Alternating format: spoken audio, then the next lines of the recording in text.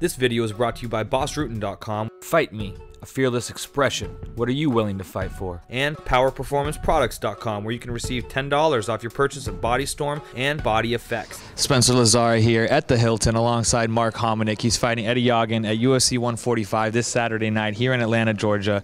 Obviously excited to get back in there for you. huge fight. You know, like to be on this card, especially this is one of the biggest main events of the, of the year, and to be on the pay per view portion of this card's an honor. And you know, I'm gonna go out there and try and steal a show.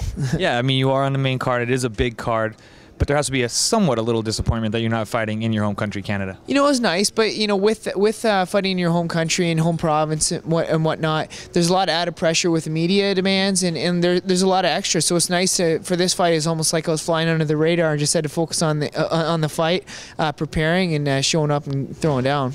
Saw some video of you getting work in with Jeff, Pat Curran, and those guys. Talk about what, what help they've been for you. It's been great. You know, Jeff's been uh, a part of my training since about 2004. Uh, over the last few years, we've kind of lost touch with Sean uh, moving up to Vegas, but it's nice to kind of re- rekindle that relationship. And, uh, you know, Pat, he's one of the best at 145 in the world, so he's been a good training partner. And Jeff, uh, he's similar sized Eddie, so he's at 5'6, so he's been a good sparring partner. And, and he's got a great mindset for, for the sport. He's been around for almost 15 years, over 50 fights. So, he, you know, he knows the sport in and out, and he knows myself in and out as well.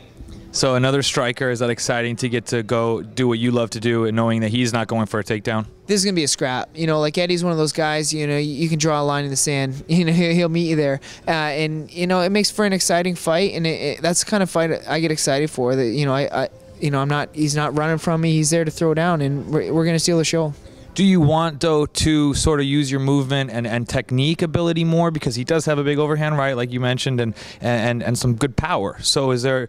You don't want to necessarily brawl with him? Oh, there's no question. You know, there's there's a difference between you know saying they're slugging it out and and, and fighting tactical and still being in a war. And like you know, I I'm ready for that. But yeah, like I mean, my, I think my my technique's far better than his. But again, he's got that heavy power, the big right hand. So you know that plays into into it. I think distance is going to be a big thing in this fight. He's definitely trying to close it. I'm going to be trying to keep it. You know, he's he's five five or five six, and you know I, I believe I have uh, reach distance and footwork on him. So uh, you know it, it's going to be a bit of a chess match. But yeah, you know it's going to be like playing with the uh, the snake.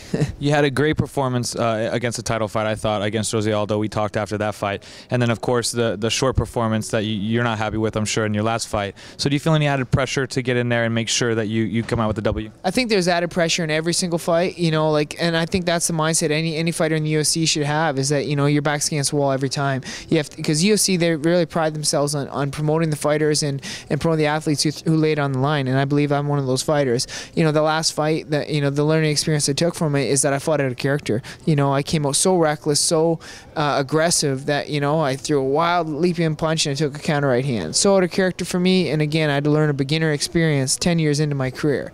But you know I I, I didn't want to dwell on it too much. Right back to the gym, right back at focus of, of, of climbing forward. Yeah, it's a little bit of the beauty of the sport, I suppose.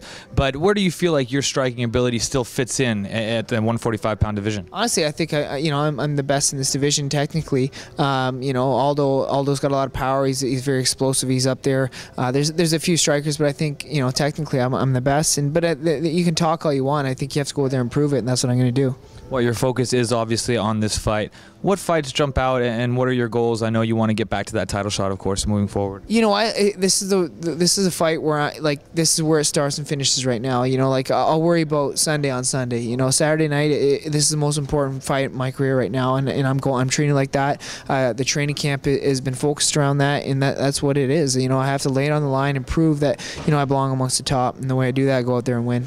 Okay. Appreciate the time. This is Mark Hominick. I'm Spencer Lazara. You're watching MMAinterviews.tv. Look for his fight on the main card, UFC 145, this Saturday night. Hey there, we're the King of the Cage Ring Girls. Thanks for watching MMAinterviews.tv.